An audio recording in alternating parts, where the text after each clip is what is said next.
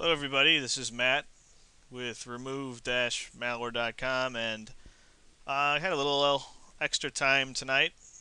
I won't have much this weekend so I kind of wanted to get this out of the way and I'm going to go ahead and take a look at my first uh, behavior blocker and that would be PC Tools ThreatFire. Um, I learned about PC Tools ThreatFire probably about a year ago and I had to use it when I was on a customer call, um, this person had a USB worm and it was really really annoying because the antivirus I had on me just didn't detect it. So I downloaded ThreatFire and ThreatFire isolated this worm and just quarantined it and that was it. End of story. Since then I haven't really used it much. I'm a pretty big fan of uh, HIPS, but uh, lots and lots and lots of people always say that behavior analysis is the future because there's so many uh, there's much less much less prompts that you have to deal with. Um, so let's go ahead, go ahead and talk about what ThreatFire is really quick. It offers zero-day protection. You can run it alongside your antivirus. In fact, they kind of encourage it. Um, it is free. 22 meg download, not exactly huge. Uh, it protects your PC against uh, attacks that are malicious in behavior, uh, such as uh, keystrokes, um, keyloggers, that kind of thing. Um, uh, let's see, what else do they do? They do. It recognizes spyware, adware, keyloggers, viruses, worms, trojans, rootkits, buffer overflows, and other malware.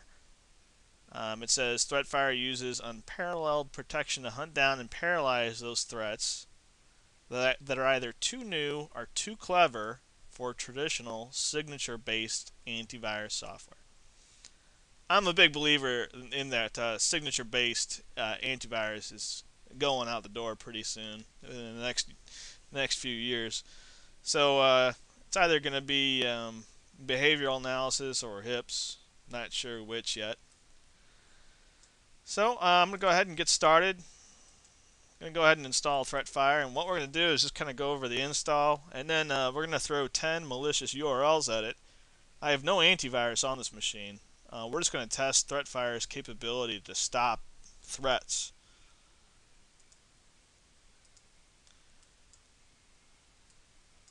Um, so far, like I said, I've tested a lot of HIPS, many HIPS products and sandboxing products, and they're all pretty much perfect. Uh, but they do, uh, well, the, the HIPS products have a ton of pop-ups, uh, and you have to deal with deal with that. And you know, there's so many pop-ups that uh, people often will just let anything into their computer just by hitting allow. Um, whereas ThreatFire should be pretty quiet and only pop up, you know, if we're installing some some really nasty stuff. That's that's the purpose of behavior blockers. But I'm also kind of worried that um, someone's going to write some kind of threat. I don't know that that gets around the behavior blockers. Um, you know, since, since it's just a behavior, who knows if they who knows if they can write something that just kind of tricks it. I don't know.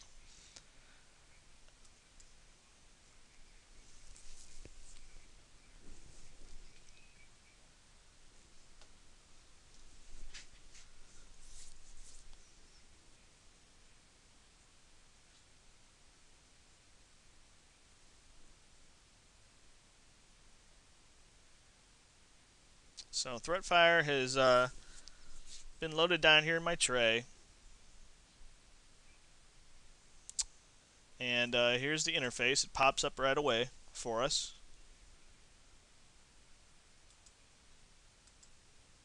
I'm going to go ahead and do a smart update.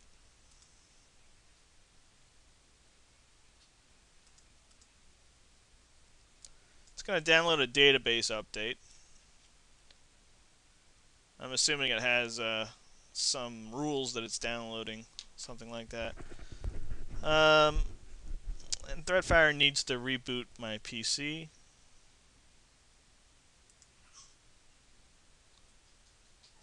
So once I um, once I finish doing this update, I'll go ahead and reboot, and I'll pause it during that.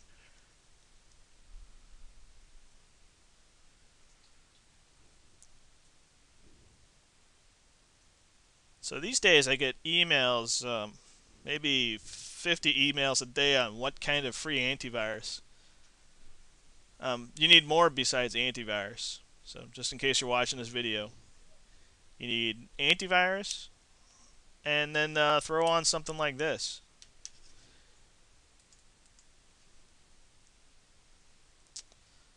Either a, a HIPS, if you're okay with lots of pop-ups.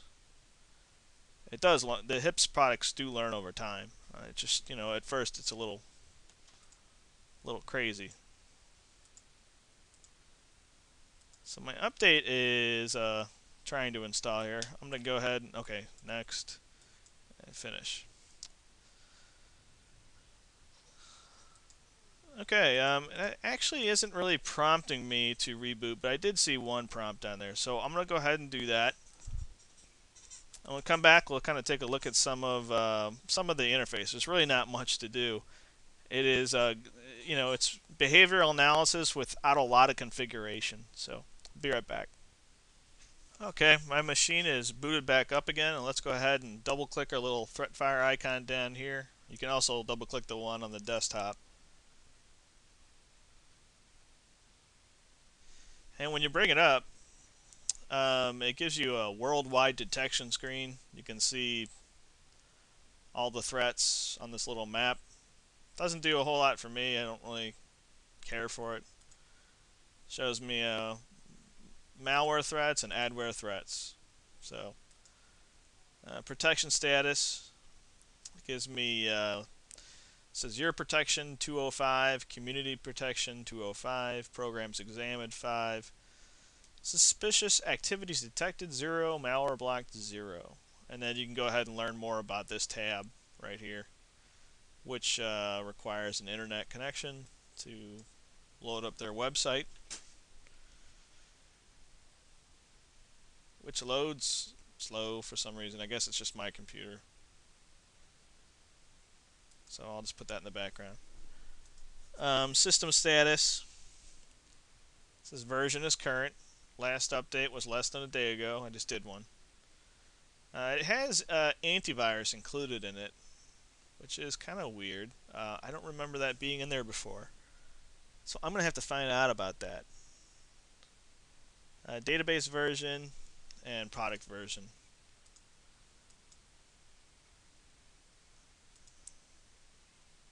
Okay, on the scan, you can go ahead and scan for rootkits and scan th for threats. Yeah, I guess they must have included antivirus recently. I, I really don't remember this because I just worked with this a few few weeks ago and it wasn't there. Um, so I'll have to find out if that's compatible with other antiviruses. I'll, I'll post something on my blog. Once again, my blog is remove-malware.com. Um, you can go ahead and create advanced rules. Oh, let me go back to threat control. Threat control, uh, we see allowed items, we see denied items, we've seen quarantine items, and then so there's a protection log. So we have really don't, haven't done anything yet, so we don't have anything in here yet. These are all kind of blank. Under advanced rules, advanced tools, you can create custom rules for applications, and it is really, really kind of difficult.